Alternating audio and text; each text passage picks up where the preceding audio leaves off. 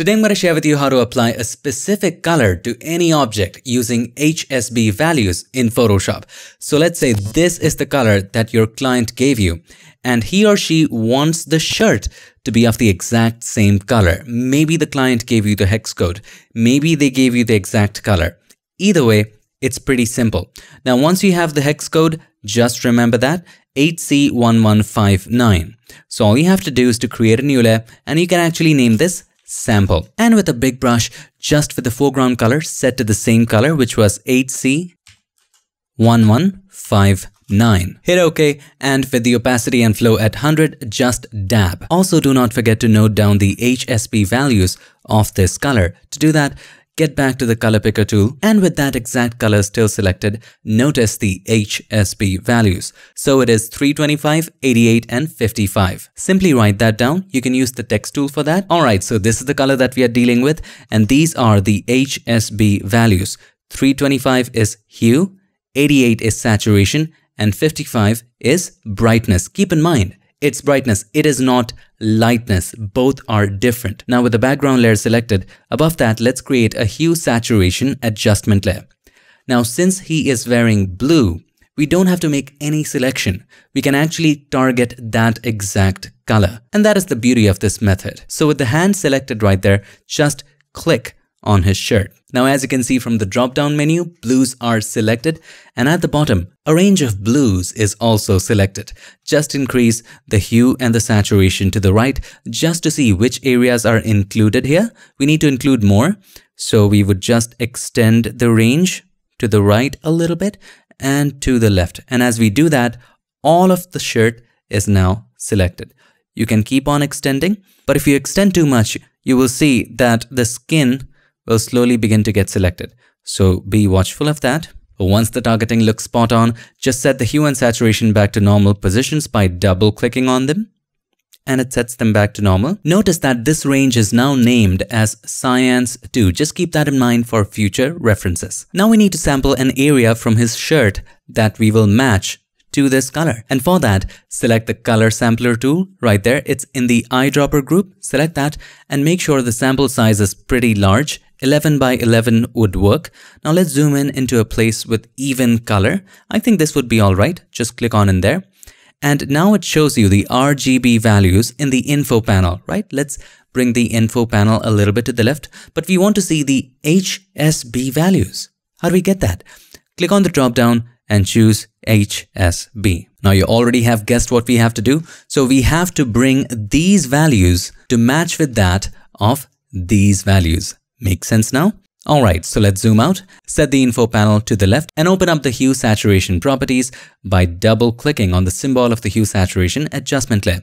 Now keep in mind it was inside Cyans 2. That's why I told you to keep that in mind for future references. We need to set the hue such that the new value is 325. Right now the hue is how much? 224.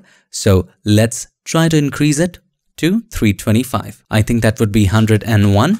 And there you have 325 at the top. If you want to look at how it's changing the image simultaneously, let's place the properties at the top so that you can see what's happening. Now we need to make adjustments so that the saturation goes from 69 to 88 and the brightness goes from 41 to 55. But the problem is right here we have lightness. We do not have brightness.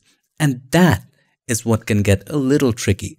So if you change the saturation, you would notice that the brightness also changes right over here. So you need to play with these two sliders in such tandem so that you get these exact values. So the way to approach it is this. Just increase the saturation so that it's higher than 88. So I'm going to go a little higher and have something like 94 and then slowly and gradually start increasing the lightness and you will notice the saturation comes down. It comes down to 88. Now the saturation is around 88 and 89, but is the brightness around 54 and 55? Yes, it is. See, we achieved that in just one take. If it doesn't happen, just keep on increasing slowly and gradually and then keep on increasing the lightness. Just dance these sliders together in coordination and you will get it, I'm absolutely sure. However, still the sliders are not very close. It's 89, it's 88. So let's keep on increasing the lightness. Alright, that's not working. Let's increase the saturation even further and start increasing the lightness. All right, It's very close now, 88, 54. Let's go 59 and keep on increasing the lightness as well. There you have it, 88, 55. And more often than not, you would notice that these are in increments of 10. So if it's 29, this one is 59. Sometimes if it's 49 at the bottom, it would be 39. So the interesting thing here is that for the most part, the increments would be in tens. And there you have it, my friend. So here is the before and here is the after you have an exact match. Now if the sampler is bothering you and you want to get rid of that, well just make sure you have the color sampler tool selected and hold the alt key or the option key, just hover over it, a scissor will show up, click on it and that will go away. Now do keep in mind there are certain limitations to this technique. Have a look. The original color is a little dark. However, if you wanted something very bright, that would be difficult to achieve. So let's say your client gave you a color like this super bright red color. All right, let's make it even more saturated. And now let's just create a sample of that color right over here. Now this, my friend, is to get real tough. First of all, let us create a sample right over here. Now make sure we are looking at the HSB values. Remember what our target was? It was Cyan 2. Now we just need to set the hue to 344. It's 324 right now. Let's get to 344. Alright, the hue is easy. What about saturation and lightness? This is where the problem would be. Saturation is 96, brightness is 94. So let's go a little higher than 96. It's 99 right now.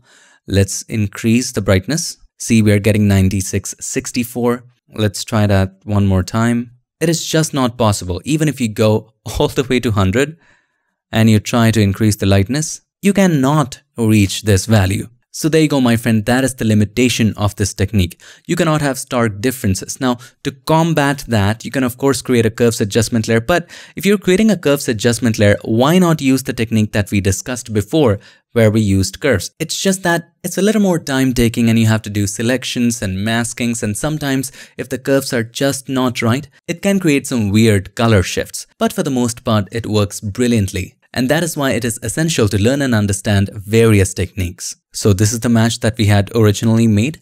And if it accidentally affected some other areas, which it has slightly, don't worry, just select the mask and just erase these additional areas that it affected.